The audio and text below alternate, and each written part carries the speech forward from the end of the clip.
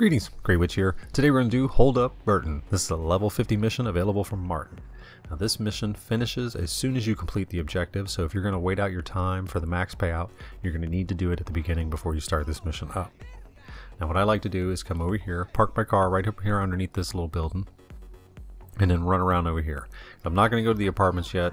What I'm going to do is I'm going to take a position and snipe out a bunch of these guys. It helps out a lot. Instead of just driving up in there, jumping out of the car and just shooting everybody with machine guns. This works a lot easier. It takes out a lot of the guys. Helps out a lot. Plus, as a person who plays sniper position a lot, I always look for the furthest away I can be to take out all the bad guys before I even get in there. So this is pretty much the best place I could find for a sniping position. And it helps, this is a pretty good one too, because you can pretty much take out almost every person here. Alright, so we'll pull up the sniper. Switch that off. Alright, you got a guy right here. Now this guy is here to help you. He's with the guy that you have to escort, so don't even worry about him. Then the guy you need to escort is back there behind that wall. But all these guys in the middle right here are bad guys, and you need to kill them. So the ones you need to worry about the most are the ones right here in the front. These are the ones that can reach you with their machine guns. So take these guys out. Now they get a little squirrely running around in here. So if you don't want to just worry about them right yet, you don't have to. Because your guy in there will also start shooting at them and keep them occupied. So what you can do is just take out these other guys that are running around. Some of them are just standing around, completely unaware.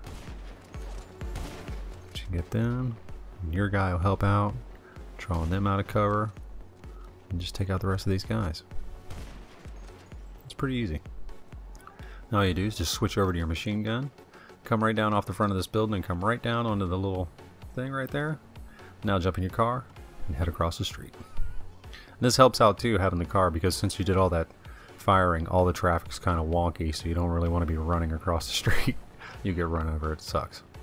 So then just pull up, there's the guy right there, he's still hiding. Pull up right here like this, jump out, pull a machine gun, take out these last few guys. They should be pretty weak because the other guys pretty much should have had them taking them down pretty much by now. This last guy right there. Now he's ready and he's going to jump in his car and all you have to do is follow him in your car. And this other guy over here you don't even have to worry about.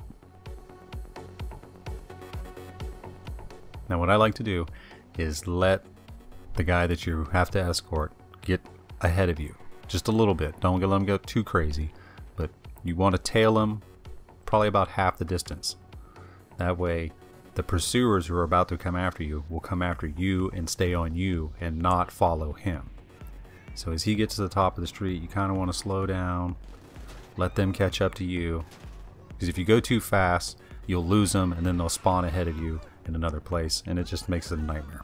So you really want to get them all to follow you right through this one part. So go slow.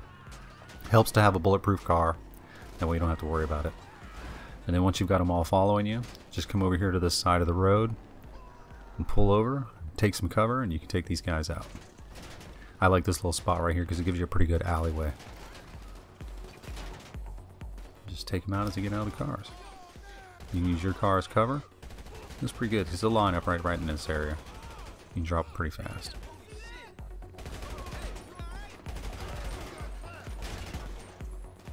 And just wait for this last car. Guys to show up. That guy's on. One more car showing up. And while you're doing this, the guy you're escorting, he's just steadily driving to Martin's house. So you don't even have to worry about him because all the bad guys are right here. And he'll probably end up beating you there. So you got the last guys there. And that's it. Now all you have to do is just drive to Martin's. And like I said, he will probably beat you there. And if he does, the mission will end and then you're fine. You always want to really go to Martin's house because sometimes he'll get stuck. He'll just stand there outside and won't move. So you want to head to Martin's house anyways. That way it keeps the game progressing. Because I've had him just sit there for like five minutes and just not do anything. But it does work out pretty good if you just head right there. And there we are. The mission's over. And it's pretty cake. Alright, well this is Grey Witch. I hope this video helps you out, and I will see you next time. Peace!